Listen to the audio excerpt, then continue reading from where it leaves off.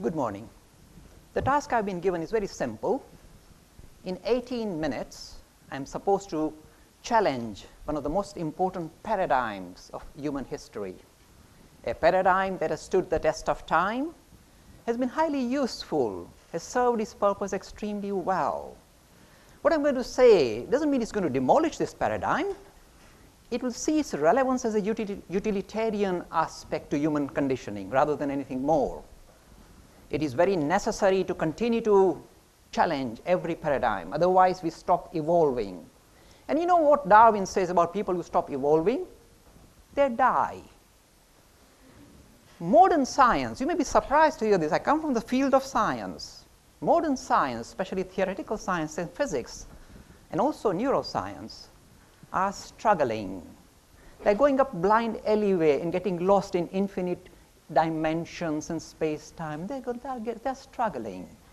So it is necessary sometimes to re-examine some of these key issues or key ideas that we have at the heart of, heart of our, our scientific enterprise.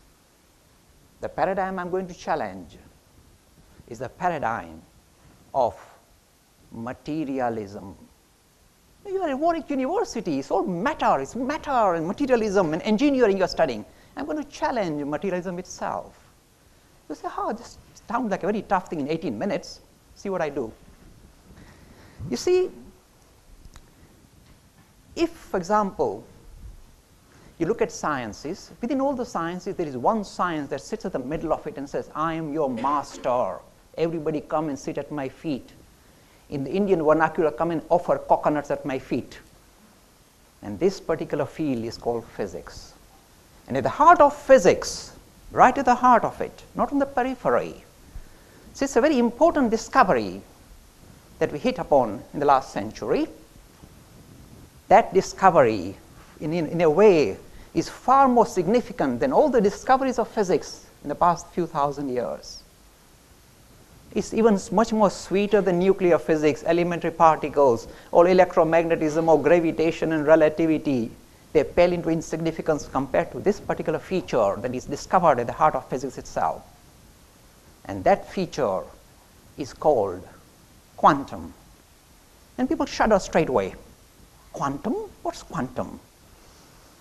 Let me just remove the mystery behind this because sometimes it's kind of shrouded in mystery and you lose track of what you're talking about. First of all, they warn you. The physicists themselves will warn you. If you try and if you encounter the quantum phenomena, and if you don't start feeling dizzy, that means you've not understood it. Go again. But the converse is not true. If you're wandering around the campus of Warwick University and you start feeling dizzy, don't think that the mystery of quantum mechanics has hit, hit upon you. You need to see a physician. What is this quantum and why is it so unique? First of all, let me tell you, this quantum phenomena has got three fathers. Now, whenever you have any child with three fathers, you know what you are expecting, weirdness. So it has got three fathers, Heisenberg, Bose, and Schrodinger. Very powerful, astute physicists, very well recognized. And also this quantum, this little chap called quantum, has got a very famous uncle now the uncle helped this quantum to be developed at the early stages. He helped the birth of the quantum, but then suddenly turned against quantum and became really vengeful. At every opportunity, this uncle, this very famous uncle, tried to run down the quantum. And the benevolent father said to stop him doing that. Let me tell you the name of this nasty uncle. You'll be surprised. Was out to knock out the quantum. The name is Einstein. He had, he had tremendous difficulty with the quantum. I'll tell you why he had this difficulty.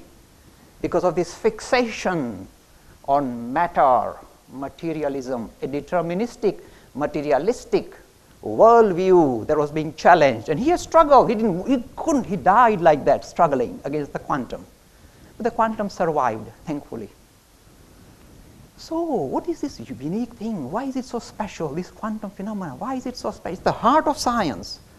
It is stupendously successful. It has matured. Everything that you kind of encounter, your computer chip, your DNA, your biological, everything can be you know, expressed to the 10th decimal point without any problem at all. It is stupendously successful and yet impossible to fathom. The reason why the science, science struggles with the quantum is purely this. It asks us to challenge this paradigm that we've been working in, the paradigm of matter. What is this paradigm? It says, you know, how did it arise? We human beings are trying to make sense of the world that we lived in. We saw material things around us. And all these material things had certain characteristics. Oh, wood, it burns. Oh, water, it flows. Oh, yes. So there was substance and attributes. So we extrapolated and said, even when we are trying to look at the depth of, the, the, of reality, looking at the fabric of reality, you must continue to use the same particular methodology, substance and attributes. This little, little, tiddly little fellow called atom, that's the substance, it's got certain attributes, charge, mass, spin. Oh yes, we continue, it seems to work well. And now, suddenly, when we dig deeper into the nature of reality, this paradigm shudders. We don't know where to look because we are still stuck with this paradigm of matter and a materialistic worldview, which is making life difficult. Without going into the equations of quantum mechanics, that's why I'm not using any slides. Make it light-hearted. What is the heart of quantum? This is what it says. You see this material world that you are so sure about? Underpinning this material world sits something which is the fabric of reality, which is something that can best be classed as non-material. It is not matter. The only thing we can say about it is not matter. You ask them, what is it? What is it? They say, don't ask. We don't know. We don't have the vocabulary for it. But it's not matter. Matter does not underpin this reality. Matter is a secondary phenomena. It's an epiphenomena. It just pops out. The thing that underpins this reality is essentially extremely fluid. It's not water. It's very fluid, very interconnected, very dynamic. We have no vocabulary. I'm just using this kind of superfluous words. Let me give an example just to give a flavor of what this quantum is all about. If I took two bricks, here is my material world, I live in it. Ha, here are two bricks. I thumb them together. Got a rubble there. I can still discern the two bricks sitting there. I take two quantas, the underpinning to this brick, at the real, the deeper level. I take two quanta, put them together. Either I can have two quanta one and a half quanta, one quanta, half a quanta, quarter quanta, and the magic of all, no, nothing, zero. It's not even a matter and antimatter kind of dis- disintegrating. It's something much more deeper. There's no ripple left. No energy comes out. It just merges and disappears. See how fluid it is. That is reality.